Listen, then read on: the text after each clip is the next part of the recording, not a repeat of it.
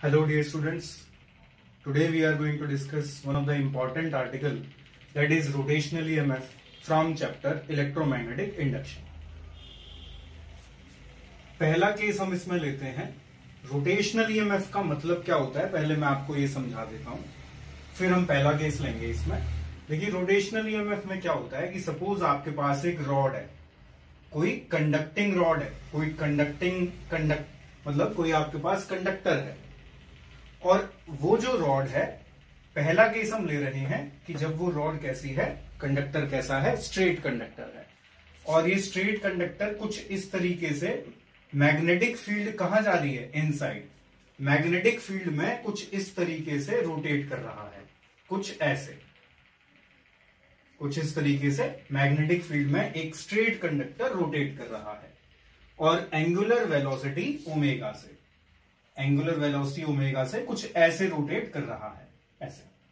ठीक है? Anti clockwise fashion में कुछ इस तरीके से रोटेट कर रहा है। और इस कंडक्टर की लेंथ एल है और एक एंड इसका पी है और दूसरा एंड है क्यू और ये कुछ ऐसे रोटेट कर रहा है और मैग्नेटिक फ़ील्ड इसमें इनसाइड ली गई है। ठीक है? हम क्या करते हैं डेरिवेशन करने के लिए? सबसे पहले इसमें हम एक स्मॉल एलिमेंट लेते हैं। आपको याद होगा हमने लास्ट क्लास में लास्ट लेक्चर में हमने पढ़ा था मोशनल ईएमएफ के बारे में, जिसका आंसर आता था B magnetic field L length और V B L V motional EMF का आंसर आता था। तो आपको अच्छे से पता है, आप इलेवंथ क्लास में एक रिलेशन पढ़ते हैं। The relation between linear velocity and angular velocity और रिलेशन होता है v is equal to R omega okay तो हम क्या करते हैं? पहले इसमें एक स्मॉल एलिमेंट लेते हैं।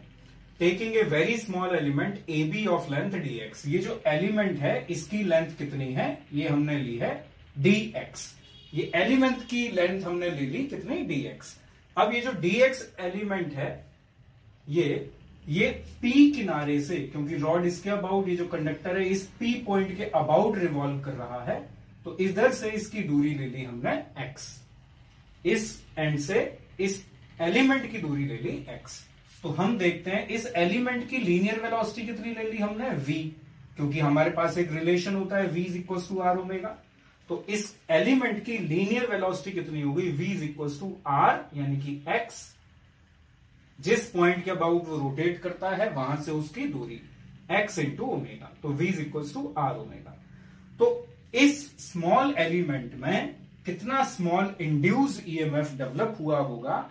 देखो, क्योंकि आपने लास्ट क्लास में पढ़ा था कि जब भी कोई कंडक्टर एक मैग्नेटिक फ़ील्ड में मूव करता है तो वहाँ पे इंड्यूस ईएमएफ आता है। तो इसके मोशन की वजह से, इसके मोशन की वजह से यहाँ पे इंड्यूस ईएमएफ कितना आ रहा है? Small EMF induced in this element is minus V B D X ये माइनस का साइन इसलिए आता है क्योंकि v जब आप ओमेगा क्रॉस v करते हो तो इनकी डायरेक्शन dx से अपोजिट होती है। जब आप, हम क्या करते हैं, अगर हम ओमेगा और v का क्रॉस प्रोडक्ट करते हैं तो हमारी जो dx की डायरेक्शन के अपोजिट आता है। तो इसलिए नेगेटिव साइन लिया जाता है। बाकी आपको और क्लियर होता जाएगा भी आगे आगे। ऑन इंटीग्रेटिंग ये स्मॉल इंड्यूस ईएमएफ डेवलप हुआ, किसमें? इस एलिमेंट में। ये जो एलिमेंट है, इसमें इंड्यूस ईएमएफ कितना डेवलप हुआ? इतना। अब अगर मैं इसको इंटीग्रेट कर दूँ over the length zero to L तो मुझे, मेरे पास पूरा आंसर आ जाता है। तो हम क्या करते हैं? इसको इंटीग्रेट करते हैं। बी वी डी एक्स को इंटीग्रेट कर देते हैं। तो ज़ीरो टू एल इंटीग्रेट किया। अब आप देखें, मैं v का फॉर्मूला यहाँ से ये पुट कर दूँगा तो ओमेगा x आ जाता है। और आपको पता है, क्योंकि आपने मैथमेटिक्स में इंटीग्रेशन पढ़ा होगा तो x dx का इंटीग्रेशन होता है एक्स स्क्वायर बाय टू और फिर लिमिट रख देते हैं तो ये हो जाता है minus half B omega L square minus half B omega L square लेकिन ये देखो नेगेटिव साइन तो सिर्फ़ ये बता रहा है नेगेटिव साइन ये बता रहा है कि Q का potential potential at Q is less than potential at P. Negative sign सिर्फ़ ये बता रहा है कि P पे पोटेंशियल ज़्यादा होगा और Q पे पोटेंशियल कम होगा। ये हम निकाल कैसे सकते हैं तो अगेन मैं ये वाला रूल आपको बताया था, मैंने आपको लास्ट लेक्चर में F B V force magnetic field और वेलोसिटी पॉजिटिवली चार्ज पार्टिकल की। तो जब ये रॉड ऐसे मूव कर रही है फोर्स मैग्नेटिक फ़ील्ड वेलोसिटी देखो वेलोसिटी को ऊपर की तरफ़ कर दिया इधर मैग्नेटिक फ़ील्ड अंदर की तरफ़ कर दी, और वेलोसिटी इधर तो देखो पॉजिटिवली चार्ज पार्टिकल यहाँ रन कर रहे हैं, यहाँ भाग रहे हैं।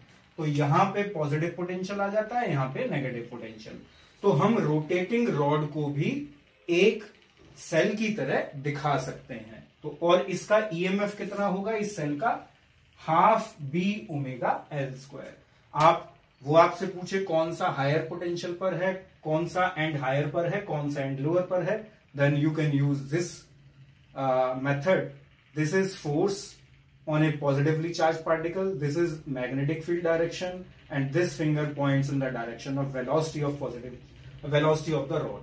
तो ये ऐसे देखो वेलोसिटी इधर मैग्नेटिक फ़ील्ड इधर तो पॉजिटिवली चार्ज पार्टिकल इधर रन कर रहे हैं। तो आपके पास इंड्यूस ईएमएफ जो आता है उसकी आ, उसका मैग्नीट्यूड कितना हो जाता है? उसका मैग्नीट्यूड हो जाता है आपके पास half B omega L square तो ये रोटेशनल ईएमएफ था।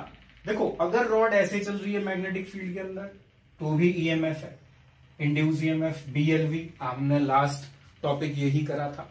अगर रॉड ऐसे रोटेट करती है तो भी इंड्यूस ईएमएफ आएगा, लेकिन मैग्नेटिक फ़ील्ड होनी चाहिए वहाँ पे, और वो कितना आता है? Half omega half B omega L square तो ये तो होता है स्ट्रेट कंडक्टर की बात। ठीक है? केस वन हमने लिया स्ट्रेट कंडक्टर का। दूसरा केस हम लेते हैं कि अगर हमारे पास जो कंडक्टर स्ट्रेट ना होके, अब हमारे पास अगर रोटेटिंग डिस्क हो जाए डिस्क डिस्क का मतलब हो गया आपके पास कोई कंडक्टिंग प्लेट है और वो प्लेट ऐसे रोटेट कर रही है ऐसे ऐसे। ठीक है? मैग्नेटिक फ़ील्ड अंदर जा रही है प्लेट ऐसे रोटेट कर रही है। तो मैं क्या करता हूँ, इसको, इसका ये जो है सेंटर सी और सरकम पे एक पॉइंट ले लिया ओ और इस डिस्क का रेडियस हमने लिया आर तो हम कहते हैं in this case electrons inside the disc जो डिस्क क्योंकि कंडक्टिंग है तो इसके अंदर इलेक्ट्रॉन्स होंगे और क्योंकि मूव कर रही है, देखो रोटेट कर रही है डिस्क ऐसे। सी के अबाउट ऐसे रोटेट कर रही है। तो आप कहोगे द डिस्क एक्सपीरियंस फोर्स जो इलेक्ट्रॉन के अंदर जो इलेक्ट्रॉन जो डिस्क के अंदर होंगे, वो फोर्स एक्सपीरियंस करेंगे। Away from the centre centre से अवे भागेंगे। सेंटर से अवे भाग रहे होंगे। तो centre acquire positive potential with respect to circumference तो सरकमफ्रेंस पे नेगेटिव पोटेंशियल आ जाता है और सेंटर पे कैसा पोटेंशियल आ जाता है पॉजिटिव तो जिसकी वजह से इंड्यूस ईएमएफ सेट होता है और आंसर आपका यहीं से आ जाता है। ये रिज़ल्ट आप डायरेक्टली ध्यान रखें, आपको हेल्पफुल होगा। Half B omega R square अगर डिस्क रोटेट करती है तो। ठीक है? थर्ड केस हम लेते हैं, जो थर्ड केस है इसका। थर्ड केस हम लेते हैं कि अगर हमारे पास कोई आर्बिट्रेरी शेप का कंडक्टर हो और वो रोटेट कर रहा है। तो आर्बिट्रेरी शेप का कंडक्टर कैसे? देखो, ये मैंने एक कंडक्टर ले लिया जहाँ मेरा मार्कर चल रहा है, ये कंडक्टर है। ओ से लेके और ऐसी लेंथ का ए का और ये रोटेट कैसे कर रहा है? ऐसे। ऐसे ऐसे रोटेट कर रहा है। मैग्नेटिक फ़ील्ड कहाँ है? इनसाइड है।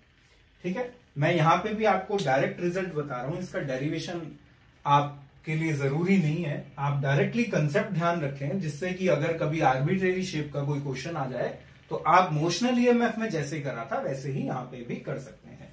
तो हम क्या करते हैं कि सबसे पहले इस कंडक्टर की जो डायरेक्ट लेंथ होती है, जैसे आप डिस्प्लेसमेंट लेते हैं, जहाँ से पार्टिकल स्टार्ट करता है, जहाँ पे पार्टिकल डायरेक्टली पहुँचता है तो डायरेक्ट एक शॉर्टेस्ट पाथ ले लेते हैं तो वो ही यहाँ पे हम एक डायरेक्ट लेंथ लेते हैं इसकी। उस जहाँ से स्टार्ट हो रहा है और जहाँ तक जा रहा है, वहाँ तक की लेंथ कुल निकाल लिया जाता है, या फिर वो आपको देगा ज़रूर, ठीक है? तो आप उससे कैसे निकाल सकते हैं कि सपोज़ ये रोटेट कर रहा है और ये इसकी लेंथ एल है, ऐसी लेंथ प्रोजेक्टेड लेंथ जो है इसकी एल है तो एल ले, यहाँ पे कौन सी लेंथ ली जाएगी? एल ना कि ये वाली, ठीक है? तो आंसर आ जाएगा आपके पास half B omega L square अगर आपको वो एंड पूछे कि कौन सा एंड जो है पॉजिटिव है, कौन सा एंड नेगेटिव है तो आप अगेन ये वाला रूल लगा सकते हैं।